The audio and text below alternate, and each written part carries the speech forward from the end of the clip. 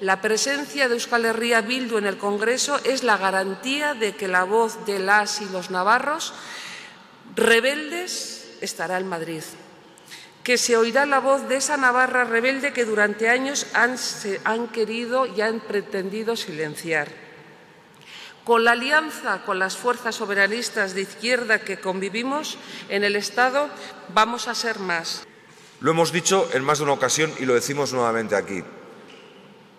El voto a Euskal Herria Bildu, el voto a las candidaturas de Euskal Herria de Bildu, el voto a las candidaturas de los soberanistas de izquierda en cualquier otro lugar del, Estado, del actual Estado español es, un voto que suma fuerzas políticas para multiplicar nuestra capacidad de incidencia política. Y por eso nos atrevemos a decir que a partir de ahora lo que se haga en el Estado español va a tener que ser consultado con los y las soberanistas.